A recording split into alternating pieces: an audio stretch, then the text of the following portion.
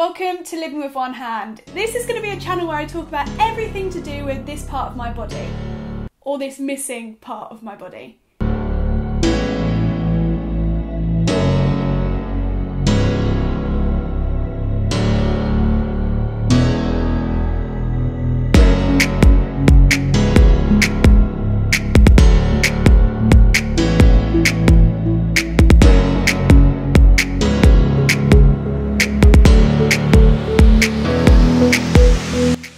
Lie, this feels a little bit odd because when I first started my YouTube journey with my sister, I tried so hard to not allow my disability to define my YouTube content.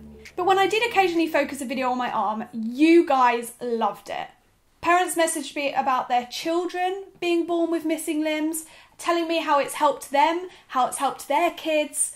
I've had people tell me that their attitudes towards disabilities and towards mine has changed, and so that's why I'm starting this channel.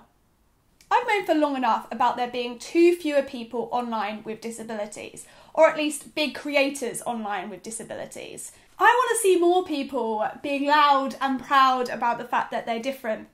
So here I am, Grace Mandeville, born with one hand and proud. Let's do this. Please subscribe to my YouTube channel. Please click that icon where you can get notified about all my videos. Please join me on this journey. I'm excited. Oh, and if you could tell me what you want to watch, that would be good too. Bye bye! Over and out. Or that, I don't know. That's quite. No, we probably won't continue doing that in every video. Don't know what I'm doing here.